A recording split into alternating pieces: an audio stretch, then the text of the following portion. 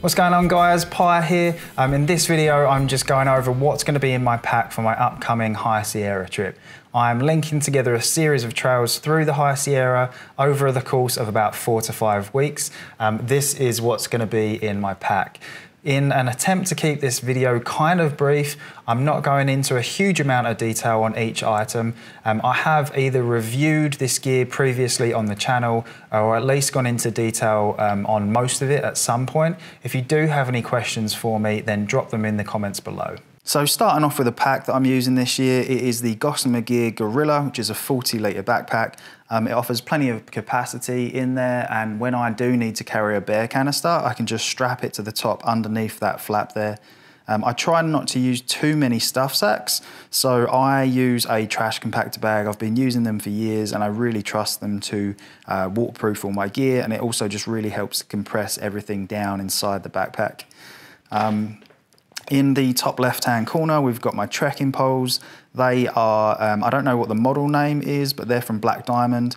Um, they're pretty heavy, but I've had them for a good while. I know they're very solid, um, and I actually trust metal trekking poles a lot more than I trust uh, carbon fiber ones because I have seen those snap on people before, um, and I'm pretty reliant on those because I set up my tent uh, actually my tarp using those. And then below that is the leash from my ice axe. My ice axe is in LA waiting for me when we arrive. Um, obviously do need to carry an ice axe this time of year because there is still probably going to be a good amount of ice and snow out on the trail and the leash there is just used to secure it to my wrist. Um, when I'm hiking across uh, snowy and icy trails, if I was to drop it, um, then hopefully that leash will help me kind of like recover it and then self-arrest in an emergency. Obviously, hopefully don't have to use that. Um, next to that, working in conjunction with the ice axe is a pair of Kahtoola micro spikes. They um, offer really good traction on sort of icy, snowy trails. Um, obviously, all of this gear adds a good bit of extra weight that I wouldn't normally be carrying on most hikes, but it is pretty mandatory for this trip. Um, Below that, we've got my cooking and water setup. Um, I'm actually undecided whether I want to go stoveless on this trip. Um, this trip is going to be really heavy just because of some of the extra gear we are carrying. So I may go stoveless, I'm not sure, but the stove um, I have reviewed previously. It's the MSR um, Pocket Rocket Deluxe, and that's an MSR 800 milliliter Titan kettle. Um, got the mandatory titanium long-handled spoon, platypus two litre water bag, and then just a Sawyer, a regular Sawyer squeeze filter um, with a smart water bottle and I will replace that other water bottle on the right hand side there with a small uh, Gatorade bottle for coffee and kind of electrolyte drinks. Next to that, in the small Ziploc bag there, that's kind of my um, first aid slash repair slash emergency kit. So there's a patch kit for my Thermarest. There is some Leukotape to deal with blisters, some ibuprofen, some Imodium. There is a mini Bic lighter in there just in case of emergencies. If the uh, piezo igniter was to fail on my stove or I needed to create a fire, then I have a lighter with me Small pocket knife, that's just an Opinel folding knife. I love their knives, super lightweight and high quality.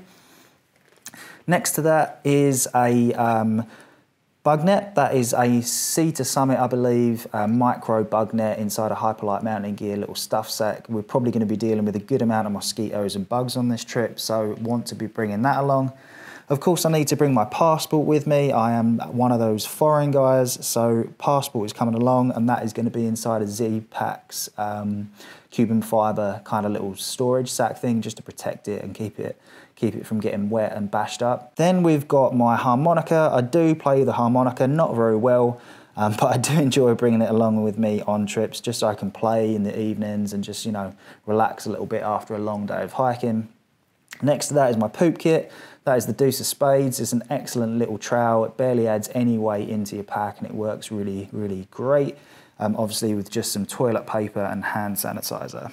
Then on to my shelter system and my sleeping stuff. My sleeping bag for this trip is the Thermarest Hyperion. Um, I do have a separate video on my shelter system and then another one on my sleeping gear. But the Thermarest Hyperion is super lightweight. I think it comes in at around 20 ounces. It's good down to 20 Fahrenheit, minus six. Obviously, that is just the storage sack um, that I've got it in there, just so it stays nice and puffed up. But when I head out on the trail, it will go inside that um, trash compactor bag and it packs down extremely, extremely small. Um, keeps me warm, does the job, super happy with it so far. In conjunction with that is the Thermarest X-Therm. I decided to go with the X-Therm on this trip because we are going to be dealing with some pretty seriously uh, cold temperatures, probably well below zero um, on some of the nights up in the mountains. So Instead of bringing the Thermarest X-Lite, which is the sleeping pad that I'd probably normally used, I decided to go for the X-Therm because it does obviously really boost up the insulating value of my sleep system. It's a little bit heavier, but only by about an ounce, ounce and a half, and it is a lot, lot warmer. So bringing that one along, also bring in a um, silk sleeping bag liner. That one's made by Rab. It's just really simple uh, rectangular design. It's a little bit of extra weight, like five or six ounces, but it does increase the warmth of my sleep system and it also uh, just prevents it from getting as dirty as it would otherwise with the sweat and the grime coming off my body. Then we've got my shelter system itself. Inside the Hyperlite mountain gear stuff sack is um, my tarp, which is the Gossamer Gear twin tarp. It's a huge, huge tarp, which gives a lot of coverage. Um, so if it is raining, I can huddle up underneath there and stay dry. Um, and then in conjunction with that, I'm using the Bivy sack from Enlightened Equipment. I think it's called the Recon. Um, I have a separate video on my shelter system um, that I released some months ago. You definitely want to check that out. You know, ideally, I will be cowboy camping most of the time, so that will hopefully stay in my pack. Um, but when I do need it for bug protection or rain, then I have those two working really well in conjunction with each other. And then below that is an assortment of stakes. I think there's 10 in there. Um, the majority are MSR um, mini groundhog stakes. I like those. Um, they hold really well, and so they're obviously great to use in conjunction with a tarp if it is very windy. And then I have maybe four or five uh, titanium shepherd hooks for the less critical uh, stakeout points. Then this section right here is kind of toiletries, miscellaneous and electronics. And the top left-hand corner there is a four USB wall charger. It's a pretty heavy thing, but it allows me to charge multiple devices simultaneously. Um, if we are just stopping in town briefly and I need to charge up batteries for my camera, my phone, my external battery, um, it is really nice to be able to do that. Next to it is an Anker external battery pack. I think it's about 10,000 milliamp, which usually is more than enough for me. Um, Spot Messenger, that is actually new to me this year. I've never used one previously on any of my hikes, but after some of the stuff we were doing on the CDT, I decided to pick one up. I found it um, secondhand on eBay, and I'm really glad that I have it. It kind of gives me a little bit more peace of mind um, out on the trail. Then is a Coast rechargeable headlamp. I also have a separate review of that. Um, I've been very, very happy with it. I like to have a rechargeable headlamp. It's extremely, extremely bright. I think about 500 lumens. And then the beam adjusts. You dial the nozzle there and it basically gives you either a spotlight or a wide flood beam. So very happy with that and then just some earplugs. I'm a pretty light sleeper, so I like to have earplugs with me just to block out any sort of noises and if we're sleeping in hostels and motels and stuff.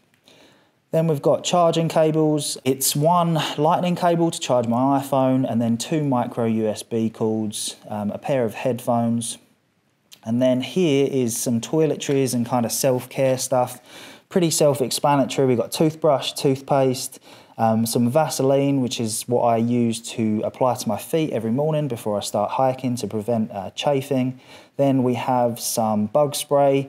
That is kind of a large container of bug spray. I will be picking up something a little bit smaller. Um, and then most of this stuff um, during the day inside my backpack lives in this Hyperlite mountain gear pod. These things are really sweet. I actually really enjoy them. Um, they kind of work like a tray, so when you're actually out on the trail, and you get to camp, you can just kind of zipper that open and everything's there where you need it. You don't have to like dig around inside like a regular stuff sack. And then on to all the stuff that I don't recommend people carry, but I am carrying myself. So this is pretty much all camera um, and video gear. I am shooting a special video project um, this year out on the trail. So Although this isn't essential for most people, and I have really tried to whittle it down as much as possible, this is adding a good amount of weight into my pack. But it's for me, it's worth it. So in the top left-hand corner is a uh, fanny pack from uh, Gossamer Gear. Um, it doesn't weigh much at all. Um, obviously, it's not essential, but for me, it's really nice to use it because I can put small essential stuff in there um, when I'm in town or if I am hiking away from camp a little bit. I can put extra batteries in there and anything I want to have with me. Um, and obviously, a lot of this electronic gear can go inside that during the day, just so it's a little bit more organized inside my pack. At the top there is two filters for my camera. Um, one is a ND filter and one is a circular polarizer. They just allow me to do some things with my camera um, that I wouldn't be able to do otherwise. They add about four or five ounces, um, so it adds a good amount, but for me, it's totally worth it. Um, they're in just side of a small sort of padded case to help protect them. Then we've got my furry windshield, which I use with my H1N Zoom um, audio recorder, which is recording this video right now. The camera that I'm recording this video on is the Sony a7R II. I did a video on all my camera gear a few weeks back, so I definitely encourage you to check that out if you want to know more about my setup. Um, then we have a dual battery charger for the camera and three extra batteries plus the one inside the camera. So we are talking about a pretty good amount of extra weight here. I think camera gear for this trip is about four pounds, so it adds a good amount of weight to my backpack. Um, we've got some SD cards there. We've got a lens pen to keep the camera clean out on the trail. We've got some extra batteries there for my audio recorder. That right there is a mount so I can attach my external audio recorder to the top of my camera. Then we have a mini tripod. I'm undecided whether to carry this mini tripod or actually step it up and carry a full-size tripod um, on this trip. Um, because of the project that I'm shooting, I really do need to have a tripod with me to get a lot of the shots that I'm trying to capture. Um, and I probably am going to end up carrying a full-size tripod. Um, obviously, a lot of this gear is subject to change, and when I'm back from the trip, I'll of course do like a separate video to see what worked, what didn't, and what I ditched. That little red guy there is a attachment system called the keyhole. Um, it allows me to carry my camera on my chest using the shoulder straps. Um, you screw that little guy into the bottom of the camera, and then it is basically just like a little solid uh, camera harness. And then these two things right here at the bottom is just a little roll of gaff tape just so I can use lavalier mics out on the trail. And then the Ursa foamies uh, work with my lavalier mic that I'm recording on right now just to reduce on wind noise and allow me to hide a lavalier mic when I'm interviewing people. I will also be carrying an Ursack on this trip for bear protection. There's a few sections where a bear canister is necessary by law, so of course we will be using them um, on those sections. I also didn't touch on my clothing because last week I released a full video breaking down all the clothing that I'm using on the trip, so I encourage you to check that out. Um, but you guys are probably thinking like, wow, that's lots of heavy, heavy gear, and it's true.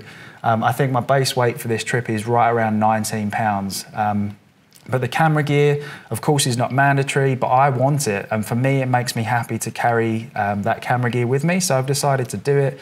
Plus, then there's the extra weight of ice axes and micro spikes and all that stuff. But yeah, I hope you enjoyed this video. I'm leaving links to in the description of basically everything that I've mentioned um, in this video. Um, I will not be releasing some videos now for probably a good couple of months while I'm out on the trail. Um, but if you do want to follow my trip, then you can follow me on Instagram. It's just at Pie on the Trail. Thanks for checking out this video, guys, and I'll catch you in the next one.